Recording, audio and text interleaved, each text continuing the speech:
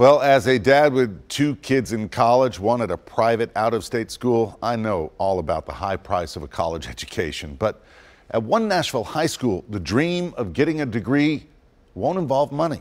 News Channel 5's Araceli Crescencio shows us how these kids are getting a head start.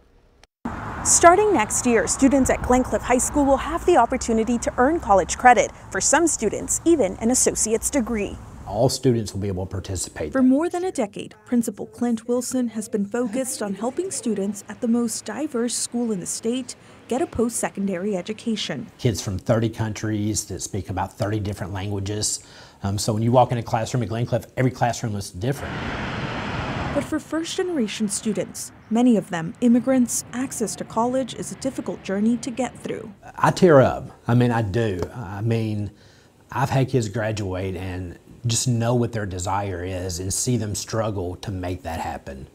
Um, college for many kids was not an opportunity that they had. Starting fall of 2024, students will have a chance at graduating not only from high school, but Nashville State Community College too, which has Wilson crying happy tears. Our motto is diversity is our strength. They are our family.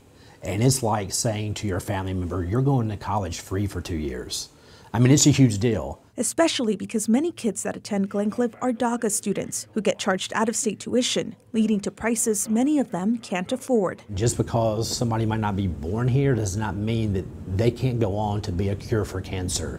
They can't go on to be the next teacher across the hallway or the doctor that you see at the hospital. Wilson knows a college degree can turn a person's life around and is excited to get the word out. This is ginormous. This is literally life-changing and generational changes for so many of our students. Once the program starts, all students will be eligible to enroll. Even if kids in one semester, that's one less semester they have to pay for. In Nashville, Araceli Crescencio, News Channel 5.